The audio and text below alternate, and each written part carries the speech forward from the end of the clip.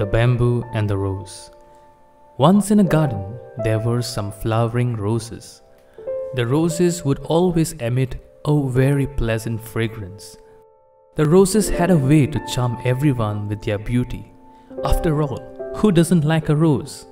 Meanwhile, on the other side, there was a bunch of bamboo trees that looked boring, no flowers or fragrance that many people love. People who passed by never praised the bamboo tree, and no one wanted to take pictures next to the bamboo, but they loved to go near the roses. This made the bamboo sad and jealous of the roses.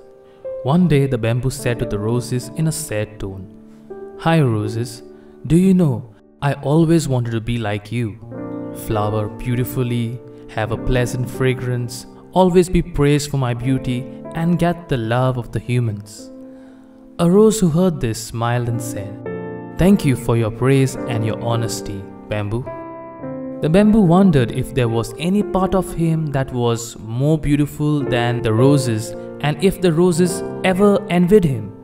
The rose, realizing what the bamboo might have been feeling, said to him, Why are you envious of us roses? Look at yourself. You have a very strong stem. When a storm comes, you stay steady and do not wobble at all. As for me and my friends, we are very fragile. A slight wind is enough for our petals to come off. Our life is very short. The bamboo realized that he had the power that he considered normal and it was amazing in the eyes of the rose. But roses, people love you. You always become a beautiful home decoration, said the bamboo. The rose smiled again and said, It's true what you say, bamboo, but do you know we will wilt and die in a few days, unlike you? The bamboo, feeling confused, said, I do not understand. Ah, bamboo, said the rose while shaking his head.